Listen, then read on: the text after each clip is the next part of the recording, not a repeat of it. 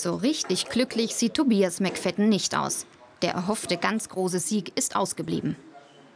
Es ist ein, ein, kleiner Teilerfolg, aber es bleibt natürlich hinter den Erwartungen zurück und äh, hat schon starke Einschränkungen und äh, lässt eben nicht hoffen auf eine schnelle Verbreitung von WLAN-Netzen quer durch Europa und vor allem Deutschland.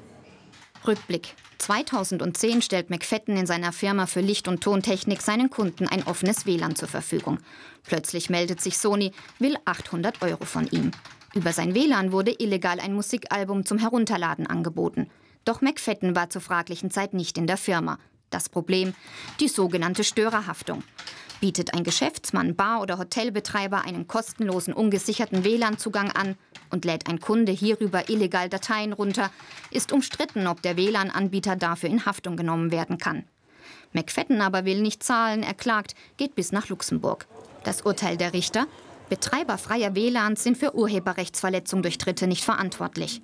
Das große Aber? Sie können gerichtlich verpflichtet werden, Sicherungsmaßnahmen wie ein Passwort zu ergreifen. Dieser lästige Login, dem wir alle begegnen, wenn wir etwa am Flughafen oder im Hotel und uns in ein öffentliches WLAN einwählen wollen, wird uns erhalten bleiben. Der Kampf für ein offenes WLAN für McFadden und alle anderen ist dennoch nicht zu Ende.